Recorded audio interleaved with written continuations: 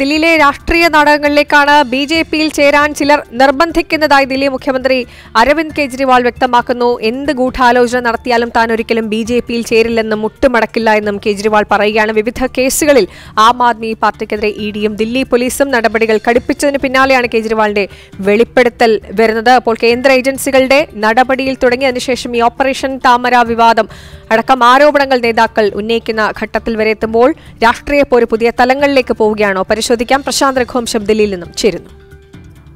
ദില്ലി സർക്കാരും കേന്ദ്ര സർക്കാരും ഇടയിലെ തർക്കം പുതിയ മാനങ്ങളിലേക്ക് നീങ്ങുകയാണ്. ദില്ലി മദ്യനയ കേസിൽ അരവിന്ദ് കെജ്രിവാളിന് ഹാജരാകാൻ ഇ ഡി അഞ്ചു നോട്ടീസുകൾ നേരത്തെ നൽകിയിരുന്നു. എന്നാൽ അഞ്ചു നോട്ടീസും തള്ളിയ കെജ്രിവാൾ ഇ ഡി നടത്തുന്നത് രാഷ്ട്രീയ നീക്കമാണെന്ന് ചൂണ്ടിക്കാട്ടിയിരുന്നു.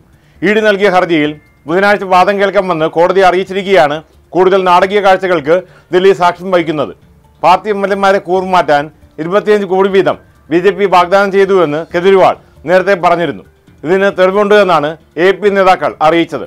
ഇക്കാര്യം ചൂണ്ടിക്കാട്ടി ബി ജെ പി ദില്ലി ഘടകം പോലീസിന് പരാതി നൽകിയിരുന്നു. ഈ കേസിലെ അന്വേഷണവും ദില്ലി പോലീസ് ഊർജിതമാക്കുകയാണ്. ദില്ലി ക്രൈംബ്രാഞ്ച് സംഘം കഴിഞ്ഞ രണ്ട് ദിവസം കെജ്രിവാളിന്റെ വീട്ടിലെത്തി നോട്ടീസ് നൽകാൻ നോക്കിയിരുന്നു. എന്നാൽ കെജ്രിവാൾ ഇത് സ്വീകരിക്കാൻ തയ്യാറായില്ല.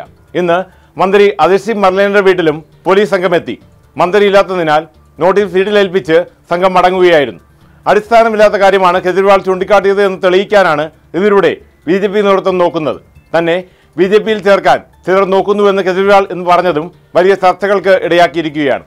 പോലീസിനോട് സഹകരിക്കേണ്ടതില്ല എന്നാണ് തൽക്കാലം എ പിയിലെ ധാരണ. എന്തായാലും ഇപ്പോഴത്തെ ഈ കാഴ്ചകൾ അവസാനം കെജ്രിവാളിന്റെ അറസ്റ്റിലേക്ക് നയിക്കാനുള്ള സാധ്യതയും തള്ളിക്കളയാൻ കഴിയില്ല.